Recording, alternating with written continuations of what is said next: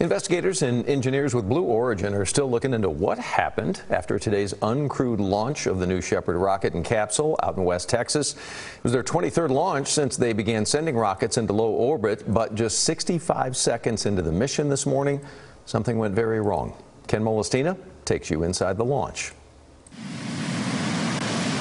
The launch was textbook for Blue Origin's New Shepard spacecraft. Then, just after a minute of flight, the capsule and rocket separated in dramatic fashion. The booster came crashing down. The capsule, carrying 36 experiments but no humans, successfully aborted with its systems deploying parachutes and bringing it to Earth safely.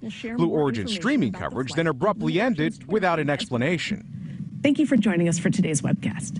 The engineers at Blue Origin will look at everything. They'll look at all the data that they've received, you know, data that's directly relevant, data that's indirectly relevant. Ken Ruffin is a space expert and engineer serving as the president of the National Space Society of North Texas. He says there may be multiple reasons as to why the mishap.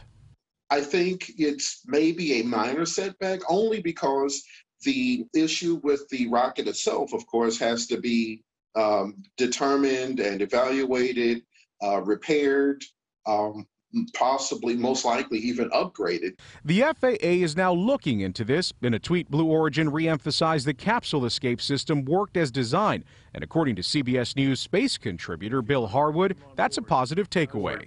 Uh, so I think Blue Origin will do whatever is required uh, to convince their own engineers in the outside world uh, that it's safe when they get around to flying again.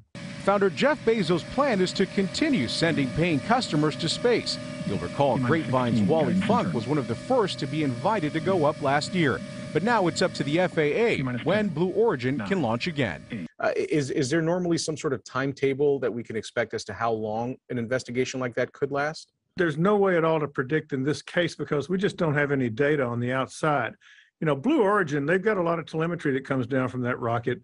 Uh, so they, they could very well have some sense of what went wrong by now, but we don't know that. I'm Ken Molestina, CBS 11 News.